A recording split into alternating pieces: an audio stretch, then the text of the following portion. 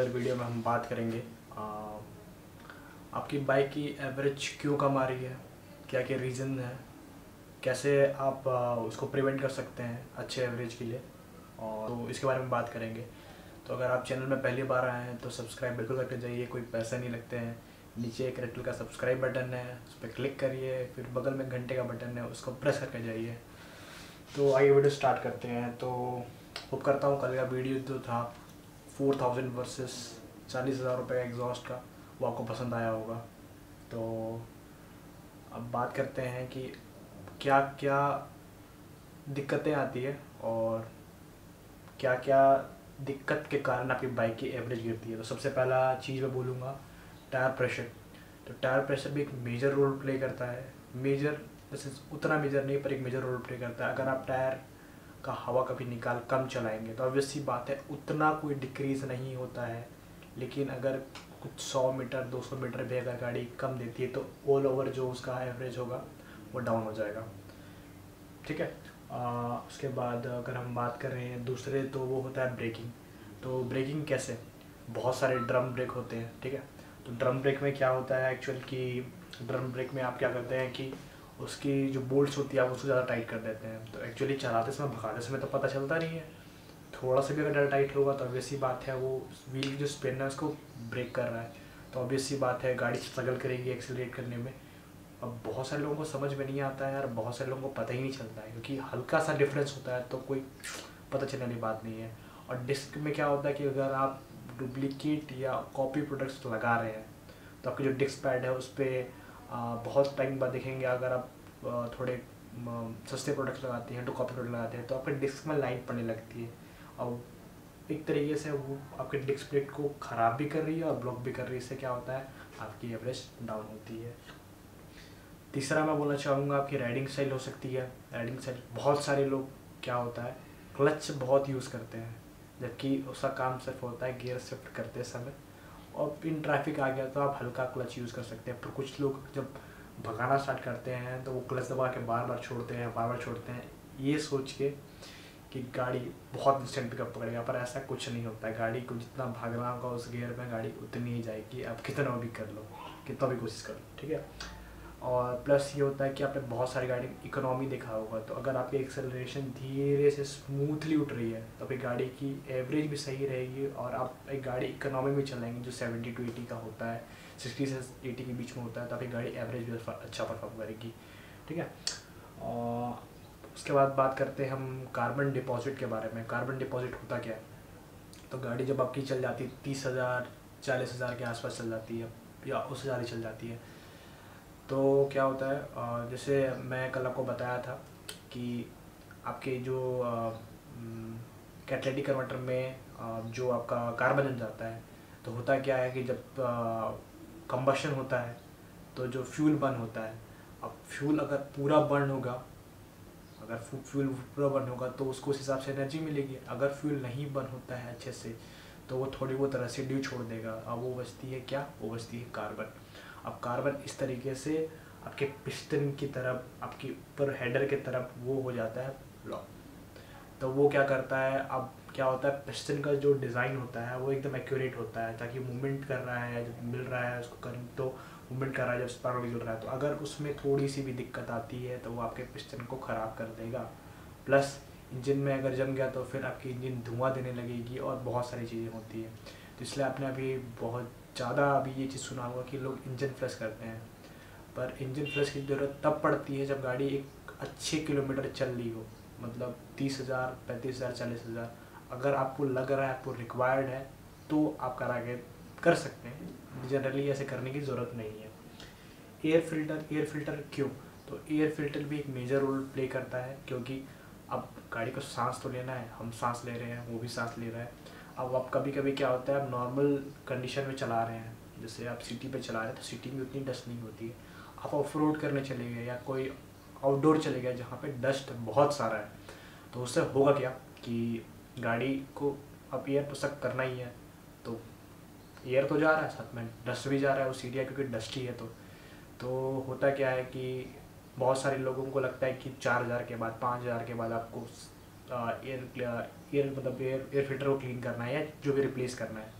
और कभी कभी क्या होता है, जब आप ज़्यादा ऑफ़ रोड कर लेते हो या कहीं इंडस्ट्री एरिया में ज़्यादा जाते हो आपको एटलीस्ट ना बिना तो हज़ार, डेढ़ हज़ार के बाद आपको एक बार उसको क्लीन कर लेना है या आपको लगे तो आपको रिप्लेस कर लेना है। तो ये चीज़ है। फिर वार्मिंग अप द बाइक बहुत सारे लोग जब सुबह गाड़ी स्टार्ट करते हैं तो उसके बाद वो रैप करना स्टार्ट कर देते हैं। तो क्योंकि गाड़ी स्टार्ट नहीं होती है, ठंडी का टाइम होता है तो ये एक तरीके से गलत है, क्योंकि क्या होता है कि जो आपका इंजन ऑयल है, वो ऐसे बैठे रहता है नीचे पे। अब सेम चीज़ मैं आपको एग्जांपल देके समझा सकूँगा, ज़्यादा से समझना का जब भी हम जिम जाते हैं तो हम पहला चीज़ जो भी वर्कआउट स्टार्ट करते हैं तो सीधा जैसे मैं भी जिम जाता हूँ तो मैं सीधे जाके कोई बेंच प्रेस स्टार्ट नहीं कर देता या लेग प्रेस स्टार्ट नहीं कर देता पहले मैं स्टार्ट करता हूँ वार्म अप से, जिसमें सारी बॉडी की स्ट्रेचिंग होती है। अब स्ट्रेचिंग क्यों? अब हम बॉडी को प्रिपेयर कर रहे हैं सिचुएशन में जाने के लिए, क्योंकि अब ऑब्वियसली बात है, आप जब रनिंग रनिंग करोगे, आप स्ट्रेचिंग करोगे, आप कुछ भी स्ट्रेचिंग का एक्सरसाइज कर रहे हो तो आपके शरीर में ब्लड का जो फ्लो है वो अच्छे से होने लगेगा तो आपकी बॉडी अच्छे से हीट होगी तो उस कारण आपकी बॉडी थोड़ी लूज़ होगी और आप प्रिपेयर रहोगे उसको काम करने के लिए तो सेम चीज़ गाड़ी के साथ भी होता है। अगर आपका इंजन ऐसे नीचे पे है और आपने एक्सलेटर दिया पड़ा तो क्या हुआ, आपका जो ऑयल है वो सब तरफ़ नहीं पहुँच पाएगा तो डायरेक्टली इनडायरेक्टली वो छोटी छोटी चीज़ें हैं, पर वो बाद में डैमेज करेगा। तो ये कुछ चीज़ें होती है, ठीक है? और फ्यूल क्वालिटी की बात करें तो फ्यूल अगर आप डलाते हैं तो अगर आपके पास ऑप्शन है अच्छी फ्यूल डलाने की, जो हाई स्पीड फ्यूल फ्यूल आती है और नॉर्मल फ्यूल आती है तो अगर आप जो एक बार यूज़ कर रहे हैं, आप उसी को रेगुलर यूज़ करिए।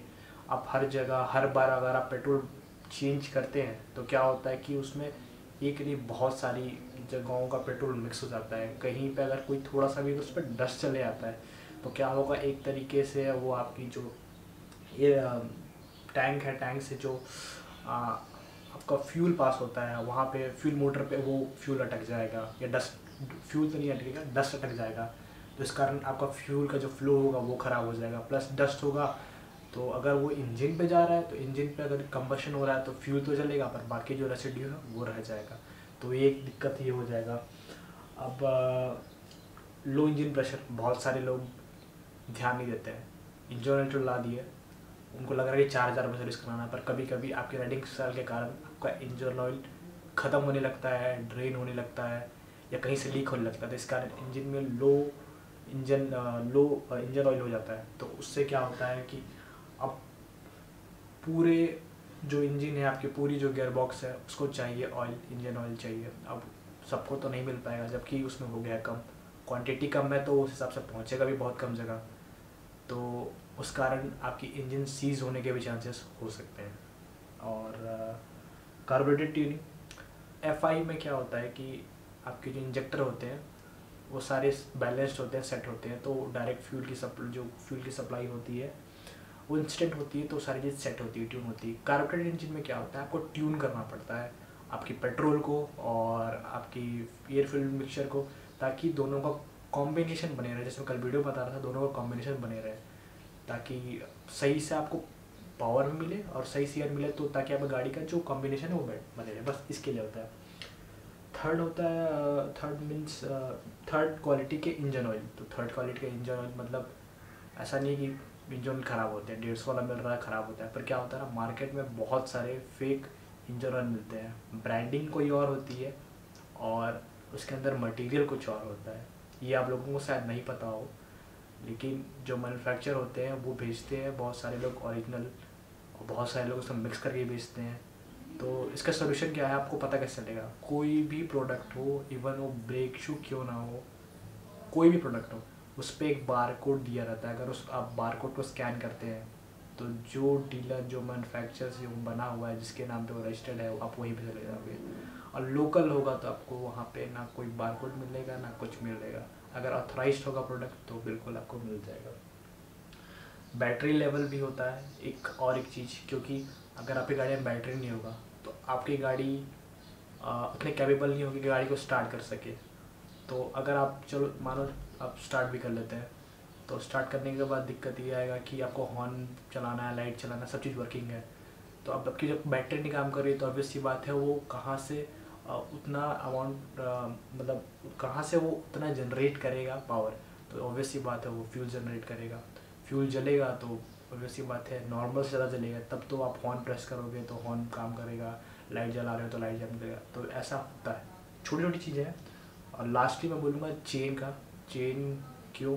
क्योंकि चेन अगर आप लूज़ छोड़ दोगे तो आपकी चेस पॉकेट बजने लगती है तो वो भी एक दिक्कत का चीज़ है। और चेन अगर आप टाइट कर दोगे तो आपको चलाने में इशू हो जाएगा।